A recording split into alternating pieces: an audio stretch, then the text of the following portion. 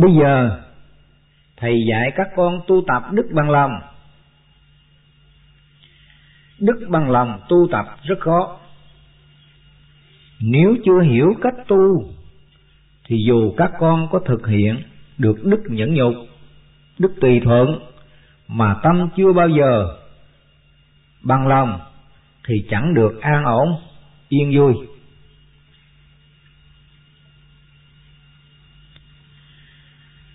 Tâm các con chưa được an ổn yên vui chính là tâm còn ở trong ác pháp, trong tâm dục. Một, muốn tu tập đức bằng lòng thì phải lập hạnh tôn kính. Kính trọng mọi người. Xưa thường bất khinh bồ tát lập hạnh kính trọng mọi người ông gặp ai, lớn hay nhỏ? Giàu sang hay nghèo đói? Vua chúa hay quan dân? Ông đều cúi đầu đảnh lễ, tôn kính như đức phật. Nhờ tu hạnh tôn kính, nên tâm hồn ông lúc nào cũng ly được ác pháp. Đời sống ông thanh thản, an vui trong đức bằng lòng. Vì có bằng lòng, mọi duyên mỗi đối tượng mọi hoàn cảnh mọi việc làm đều xa lìa các ác pháp, được giải thoát thành phật. Hai, muốn tu tập đức bằng lòng thì phải có chánh kiến. Muốn có chánh kiến thì tâm phải ly dục, ly bất thiện pháp.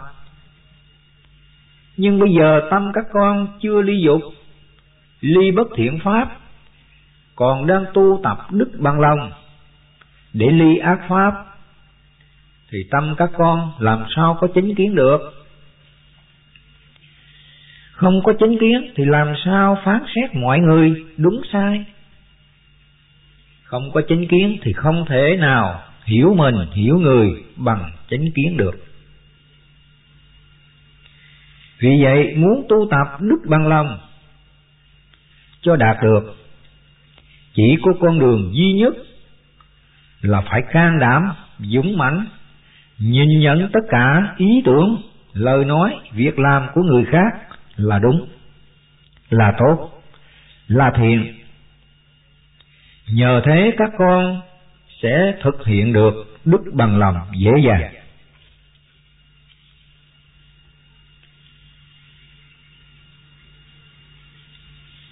Như thường bất khinh bồ tát. Dù người đó hung ác, dù người đó ngu ngu khờ, dù người đó đê hèn nhất trong xã hội, ông vẫn kính trọng, tôn kính như đức phật.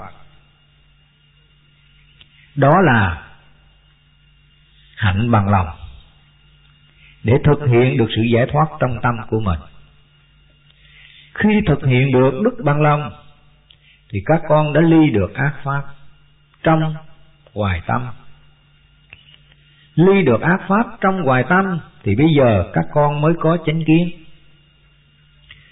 Thầy đã dạy, chỉ có tâm ly dục, ly bất thiện pháp, mới hiểu được mình được người bằng chánh kiến.